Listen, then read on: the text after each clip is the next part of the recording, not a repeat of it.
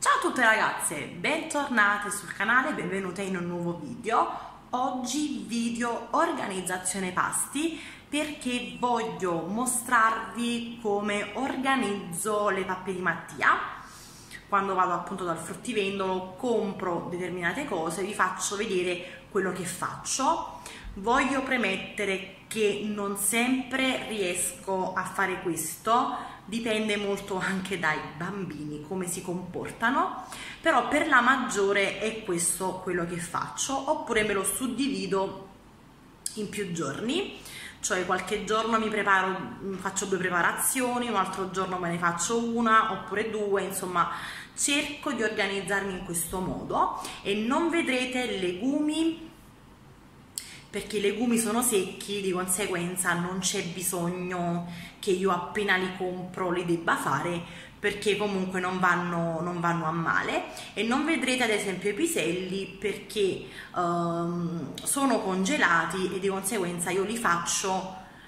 e li utilizzo, non li faccio per congelarli perché se sono congelati non si possono ricongelare assolutamente. Quindi vi faccio vedere tra poco quello che faccio. Voglio precisare che alcune preparazioni le vado prima a lavare e mettere in dei contenitori perché devo comunque aspettare che i pentolini finiscano di cuocere le altre cose che ho messo in precedenza. Per questo nel video vedrete appunto che vado a lavare delle, delle verdure e le metto in dei contenitori che però poi vedete